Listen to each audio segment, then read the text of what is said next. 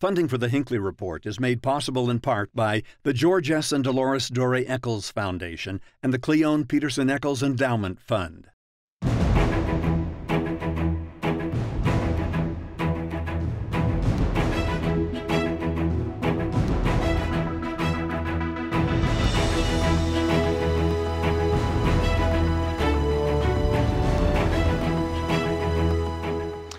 Good evening, and welcome to the Hinckley Report. I'm Jason Perry, director of the Hinckley Institute of Politics. Covering the week, we have Lindsay Whitehurst, journalist with the Associated Press, Robert Gehrke, news columnist with the Salt Lake Tribune, and Chris Blake, lobbyist with RRJ Consulting. Thank you for being with us today. We're going to jump right in. This is the time of after the legislative session where the governor starts you know, deciding on, what, on all the bills, and we start having ceremonial signings. And I want to start with one that was big this week. Let's start with you, Lindsay. The governor finally signed the hate crimes bill uh, this week, uh, over just over an hour long. There were tears, there was joy. Based on what we saw right there on this, why did it take so long for us to get to this point as, as a state? You know, there were there were a few factors as, as there was some pushback over the years. It had kind of stalled out. Um, uh, one of them, you know, there there are critics who feel like this could potentially um, hurt freedom of speech, or or mm-hmm. you know, people are being punished for their thoughts rather than their actions, and and others who say, um, look, enhanced penalties don't necessarily prevent crime. That's that's what we've been looking at with criminal justice reform. So so those critics were certainly out there, but um, but by the end of it, um, we're very much uh, Uh, outnumbered by the people who said, if, if nothing else, this sends a very important message that, that crimes and violence targeting a certain group of people that send fear through whole groups of people, we are not going to tolerate that in Utah. And, um, and so, so there were a few twists and turns this took along the way. Um, one year um, that's often cited, uh, the, the Church of Jesus Christ of Latter-day Saints made a statement kind of urging urging folks not to upset a balance between LGBT and religious rights. This came right after the, the big anti-discrimination mm-hmm. bill in 2015. And, and supporters uh, of, of the hate crimes bill said that statement really damaged their chances and basically ended it at, at that year. And then, um, then the, the church after that really didn't say much at all publicly about this um, and until this year when, um, when they clarified we do not oppose this. And, um, and after that, um, that along with a, a brutal beating at a tire shop in Salt Lake City of a Latino yeah. man. Those two things together kind of really helped. A momentum had already been building, and then those two big events really got it over the top. Mm -hmm. Rob, go ahead. I was going to say, I think one of the important things to recognize here, and this is important in any legislative uh, policy that gets passed, is you need a champion, somebody that is really passionate and focused on it. And that's where I give Senator Thatcher real credit on focusing on the, being laser focused on it. I'm not even sure he ran another bill, because, but he was so focused on this and really was was the individual to push it across the top. And that's what you need in legislative politics is somebody that's going to champion that all the way through the process mm -hmm. to make something happen. He really was relentless in, in, in meeting with the senators, trying to get a hearing on it, because it looked for a while like it might not actually get a hearing in the Senate. When it finally did, it passed fairly easily. But I think what Lindsay hit on with the church's position changing, I think really was a big a, a deal breaker, frankly, because for a long time there had been a perception, right or wrong, that the church opposed this, and and that was a, a perception that just stopped the discussion. I think when they came out and said we're not opposed to it, then you started seeing all these discussions being had. You started seeing refinements to the bill that weren't happening before, and you started seeing President Stuart Adams get behind it, and and you, you know, and then when it made it to the House, I think uh, Representative Perry, the House sponsor, said he expected it to get maybe 38 to 40 votes, and it got over 60 by the time it passed, and so it passed overwhelmingly. Um, I think you know the governor commented on what a great day it was for the for the state. I thought it was kind of striking too that you had Senator Derek Kitchen and Governor Gary Herbert, who were the two parties in Kitchen v. Herbert, which was a same-sex marriage lawsuit years ago, speaking on this on the same issue. They've come together on this now, and so you know prosecutors are looking forward to being able to use this power, if, if this authority, if it, if need be. As Lindsay mentioned, the tire shop mm-hmm. beating was was a key one that that I think played into this pretty dramatically as well. So um, you know, it's it's it was a, a, good day for all around. It was. I want to read a graphic to you, a statement from uh, Representative Patrice Arent, who sort of encapsulated this because this story that wasn't just here in, in Utah. The, the, fact that we passed this went nationwide.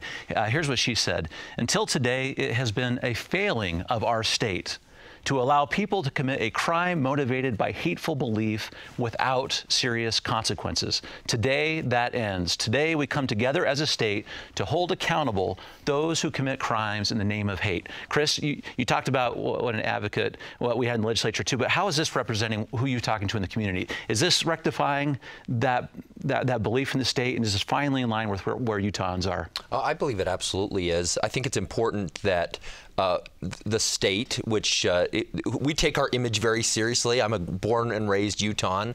Uh, I think we, we how we reflect ourselves to a broader population has always been something that's important to us. Maybe even a little bit, we feel a little bit persecuted, and so I think it is important as we take these steps.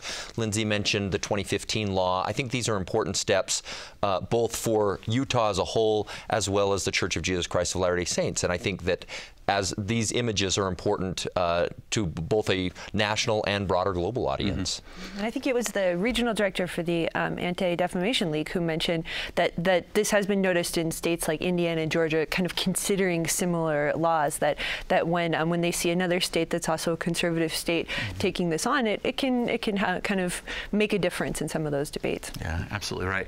Uh, let's switch gears a little bit to some vetoes uh, as opposed to the signings. One of these, Robert, let's talk about, which is interesting. The governor has line item veto authority over some budget items. That's one of the powers that the governor has, and he exercised it on an $800,000 appropriation. What was that? Give us the politics of what was going on there. Well, so it was a sound wall that uh, that a certain uh, developer, Bryson Garbett, had gone around UDOT to get this wall built out by his property. And uh, Bryson Garbett, Garbett Homes, you're probably familiar with, uh, he said there's there were walls on either side of his property. He wanted one here. He could he wasn't able to get it. He went and hired a lobbyist. Chris knows about how this works. Um, you you go hire a lobbyist and you get this tucked into the bill. It was eight hundred thousand um, dollars the governor said he saw, part of the reason he vetoed it was the description in the bill was actually incorrect. It said it was on, I believe it said it was on uh, Mountain View corridor and mm -hmm. it was on mm-hmm. Highway or maybe vice versa.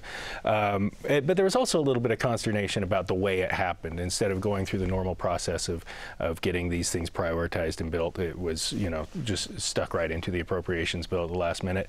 And so that was that was one of the few vetoes he used this year. Mm -hmm. uh, maybe for a second, since you mentioned Chris, you were the chief of staff for the Speaker Speaker of the House. You had to work through these sort of these, these special appropriations for a long period of time. But describe that process for just a little bit, how something like this happens, and then, you know, just. Well, and I'll say this: I think Utah, and I, I, I, would assume the reporters, maybe they'll back me up, maybe they'll they'll counteract this, but I think Utah has a pretty transparent legislative process. Now, there certainly are things that can be put into bills, but they have to be voted on. That this was pretty clear in terms of what its purpose was, even if it was mistakenly listed on the wrong road. Um, and so it does give people a chance to to look at that. Uh, you know, I, for as a lobbyist, I, I, certainly think that it's appropriate that people go and do this. I don't know the politics that happened at UDOT, and certainly something that uh, Bryson feels strongly about. And uh, he he hired a, a, good lobbyist to get that done. But uh, this is part of the process, and I'm sure the the conversation will go on. But it's certainly something that's there, and uh, it, it's a part of the process. But it's pretty transparent generally in terms of what's being funded and uh, and what's in those bills, and so that mm -hmm. people can look at that and have an understanding of what the legislature passed. I think it is and it isn't. I mean, some of the, it'll always say, you know, it said here it's a sound wall, right? And so we also it was a sound wall. You don't really understand the, all the nuance. You don't understand the, what led up to that, who's proposing it, who's got the, mm-hmm. who's hired which lobbyist to get it in there. And so there, it is, it is in there, but there's always more digging you've got to do. When this one, the press kind of started talking about my story. colleague Lee Davidson wrote about it, I think, and it, it brought some attention to it. I mean, it may have been on the governor's radar screen before that. I don't know. I hope, I hope the governor reads mm-hmm. the Salt Lake Tribune, but who, who, doesn't? yeah, right. Of course. Uh, well, let's talk about so, uh, one more funding item, Lindsay, with you, because as we tar- start talking about money that did go to things, I want to talk about s- something that didn't go to the 2020 census. Mm-hmm. This is just an interesting story. We have that coming up uh, mm-hmm. soon for the state, and um, you know, some states are spending a lot of money.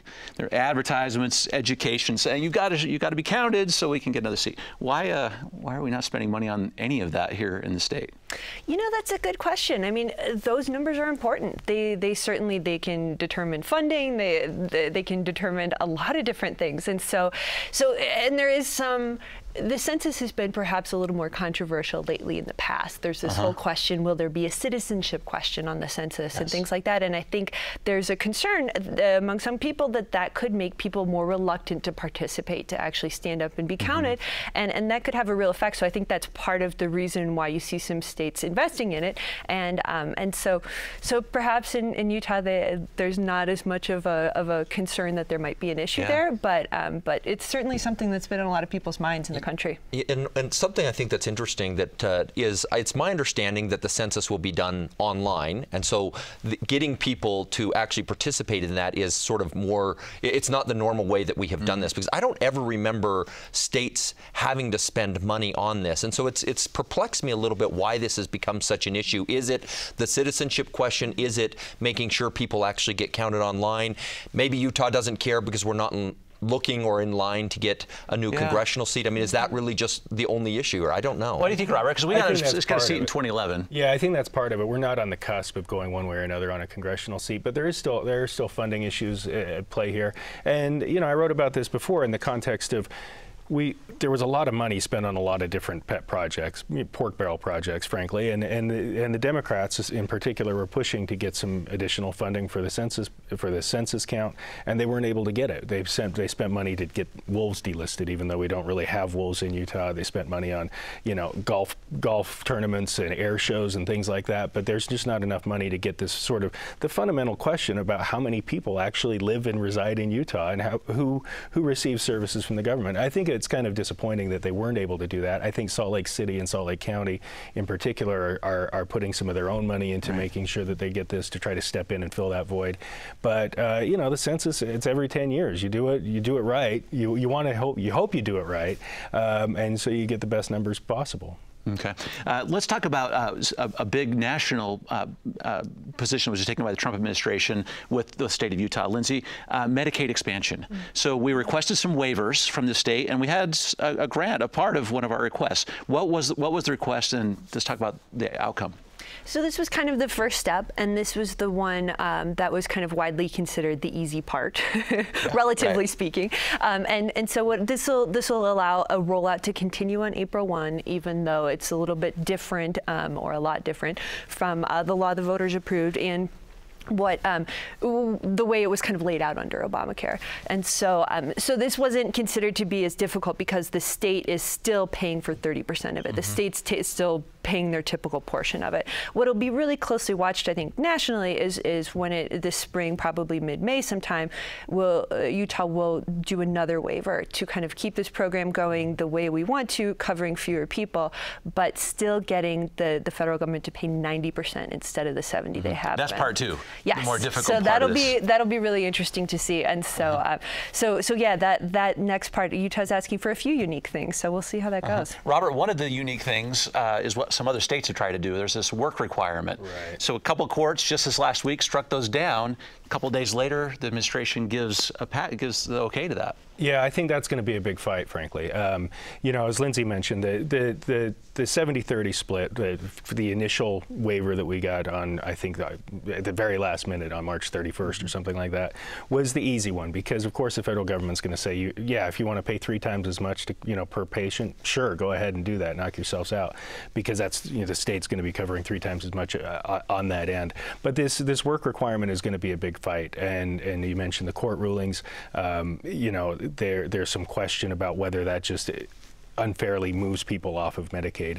Uh, you know, the proponents of it, the legislature has said, well, we want people at least looking for a job or getting some job training, and you know, and so so that's sort of the tension there. And I think, as Lindsay also mentioned, this this uh, question about the the 90-10 split for covering only 100% up to the poverty level is going to be a, a, big fight because they haven't really done that anywhere else. And I think if Utah, if they grant that to Utah, it mm -hmm. opens the door for all of these others to come in. And then there's a a, per, a, a cap on, you know, once we reach a certain level, we're not going to en enroll anybody else. Again, they haven't done that, so we're kind of in some uncharted waters there. Mm -hmm. From a political perspective, though, I think Republicans really have to wake up because health care is seen as a, whether it's a fundamental right, but certainly a fundamental need.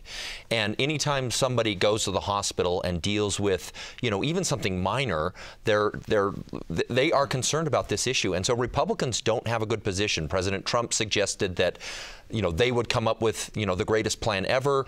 And so if they don't uh, figure out what their position is on this, other than now being against Obamacare, which has been the position for a long time and has, I guess, been successful politically, but is not a long-term policy position. And so I see that, you know, Senator Romney said he's working on something. Obviously, helped kick a number of things off, particularly from a Utah perspective with his plan in Massachusetts. But Republicans have to get serious about this issue and have something that they can give to the people well, right. Lindsay, let's, let's, address a couple of these issues because it's true. Just this week, we got President Trump, at least initially, saying, uh, Affordable Care Act, we're, we're, taking that on again, right? Repeal that again. And then now pops what, kind of what Chris was just alluding to, even Mitt Romney. Maybe he's going to rise based on his experience in Massachusetts and something for the country. T talk about that for just a moment because Mitch McConnell came out immediately and said, not so fast. Yeah, that, there's there's been some back and forth on this. And, and I think it seems like his perspective is a little bit more like McConnell's, I mean, a little bit more. This is this is not our issue. This is a this is a, a big, complicated issue, and, and this is not necessarily one we should take on. And it seems like perhaps the president is, is, is waving more towards that point of view, um, or at least until after the 2020 election, when that, that's when the, the big grand plan will come out. And um, that is something that's been a big issue for Democrats. It's, it's seen as a big issue that, that helped them retake the House, and, and so you can definitely understand why why the president would, would want to say we, we yeah. should we should be more present on this issue, but also it is big, it is complicated, and it is it is extremely tough to, to deal with as a country. So. Well, Robert, that is so. Oh, go ahead. Yeah, I was just going to say I think I think it's being teed up for 2020. Uh-huh. I think I don't know that the president necessarily has any clue what the White House wants to do in terms of reforming health care or replacing Obamacare with something else. I also think uh, as Chris kind of alluded to, I think politically, it's it's Obamacare has gained acceptance nationwide because it's it's actually done some good things for people.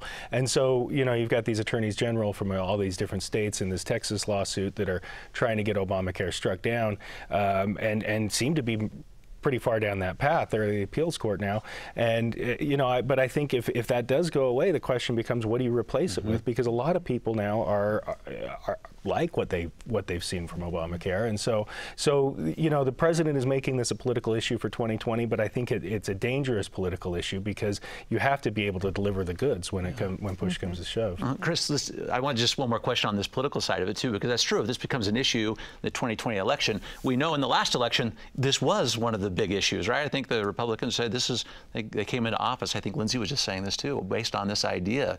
Uh, you know, if, if they're saying let's wait till after 2020, does that signal signal the Republicans don't want this to be the issue well, they're I, talking about? I, certainly don't think they want it to be the issue that, that, that people are talking about. Uh, and but I think it goes back to more of a fundamental issue of where is the policy making? Where is the Republican Party headed? They're clearly divided. Trump has changed the way the party approaches policy making.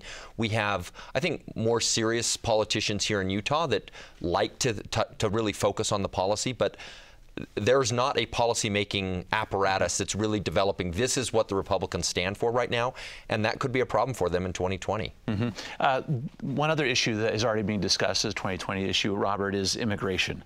Uh, the president started out this last week saying, I'm shutting down the southern border, kind of backed off that a little bit. Where, where is that playing in the discussion, both nationally and here in the state? Well, I think you know the the president is concerned about his base, and you know he's he's made the wall and the immigration and shutting down the border prime issues because that, I think that resonates well with the base that he knows that he's got to get out uh, in 2020. I don't know that it necessarily helps everybody else on the ticket, all everybody who's running for Senate and the House, and it, you know those vary a little bit more district mm -hmm. to mm-hmm. district. But you know he got pushback from the Arizona senators, from Texas uh, legislators, uh, to this idea of shutting down the border. It was going to be incredibly complicated, uh, you know, in terms of uh, you know economic impacts.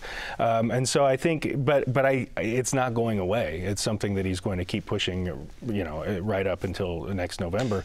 And but once again, an issue that Utah Republicans aren't in the mainstream with mm -hmm. Republicans on, you know, whether that's the missionary program and or, yeah. or something else that, that has that impact. I mean, it's just not a place that Utah Republicans have traditionally been as hard line on. Mm -hmm. And so I don't think that you know, certainly Utah Republicans, I don't think are excited about this issue. But is this an issue that uh, Republicans generally are more excited about. Maybe from a base perspective they are, but is it going to resonate with, you know, suburban voters, people that you're that the president's going to have to turn out? Because I don't think the Democrats are going to forget Wisconsin and Michigan and Indiana, some of these heartland states. There's going to be more of a focus there, even if that's not going to be where the, the fight is is supposed to be this year.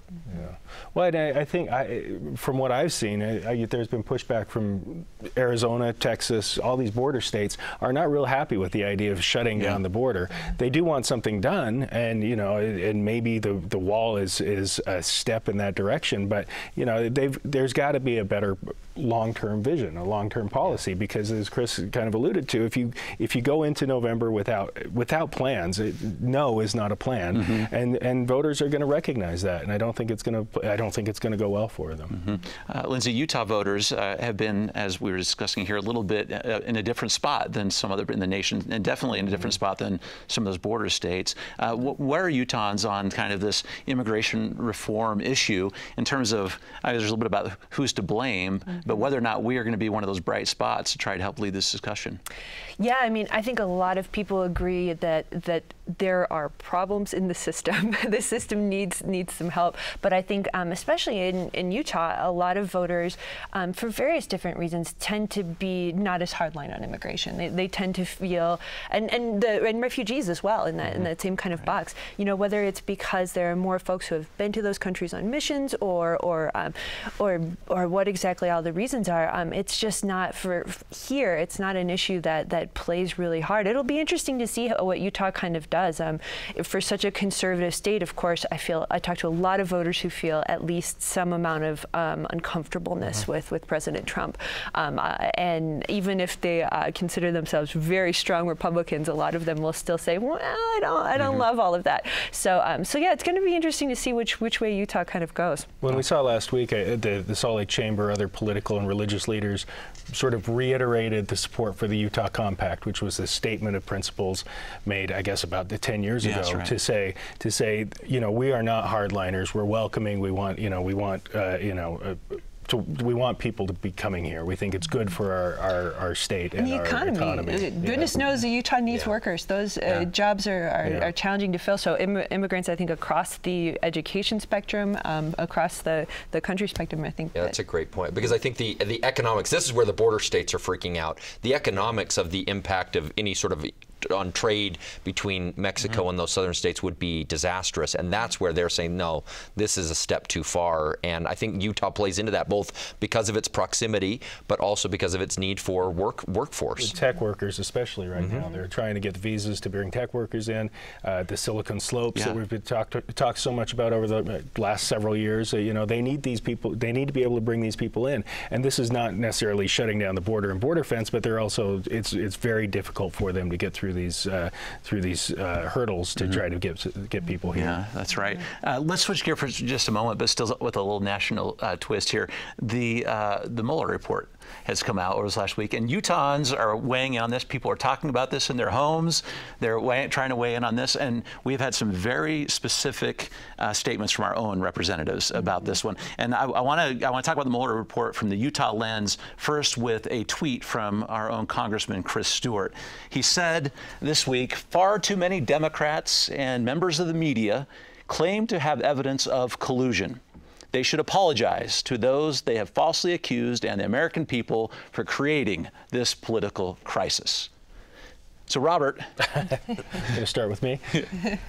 so, yeah, I think, I mean, uh, Chris Stewart is, you know, he called on Adam Schiff to resign. I think, you know, Republicans are in full offensive mode now. I think after the after this Barr summary of the Mueller report came out, there there's there I, I mean, I, in another tweet, Chris Stewart said that we need to see the full report, which I think is absolutely true. We don't know exactly what it said. We know that there was not evidence of collusion, but the obstruction of justice question is still very mm -hmm. much open, I think. There wasn't enough to prosecute, but that doesn't mean there wasn't obstruction. Um, and I think the people, the people need to see it. And it's dragged on for a couple weeks now to where we've been waiting to, for the redacted version of, uh, for the Justice Department to do the mm -hmm. redactions that they think are necessary. Um, you know, I think all of uh, all of Utah's congressional delegation, I believe, has said that we need to see as much of the report as possible. Mm -hmm. I mm-hmm. mean, I, I, you know, I think everybody recognizes that there might be some parts of it that need to be taken out. But you know, this is you know, we're trying to put a, a, some closure on this after two years of investigation, um, and and Republicans again, like you saw with Chris Stewart, I think are are going on take the you know trying to go on the offensive with this. Mm -hmm. Chris, what do you make of this this political uh, part of the story that Robert just said, where like Congressman Stewart will say, you know, there's no evidence at all of collusion. You might expect the next thing would be maybe we don't need everything, but his next words were and release the report. Right. The right. full the full report. I mean, this, how are those two things consistent? Well, I think I I personally believe, not having seen the report, as nobody really has, with the, with the exception of very few people, but I think the Attorney General, Bill Barr, Bill Barr, William Barr, has probably saved the Trump presidency uh, in terms of him being good to go for the 2020 because he set the expectations on where this report is going to come out.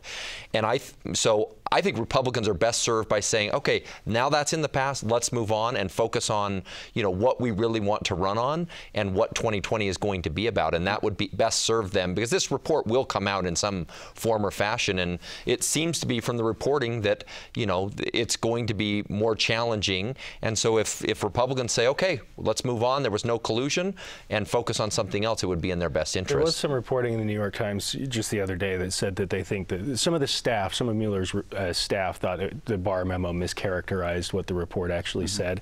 But that's why I think we need to see it. And, and it's but at the same time, it kind of is a interesting illustration of where we are in this country yeah. because everybody sees that Barr memo uh, and views it differently. Everybody's going to read the Mueller report from their own political lens, and and it's you know they'll either believe it or they won't. Liberals forever thought Mueller was going to be you know the savior of the world for mm -hmm. them, and now now they're condemning him, and you know and we just need to wait and see the report. Interestingly, I, I think it's not really changed a lot of voters' minds. no. Certainly what we know so far. You know, yeah. I think most people knew how they felt before. We were waiting for this. It was big anticipation, but most people haven't really changed their minds. Okay, thank you. That's got to be the last comment. Very insightful. Thank you for the very great dialogue.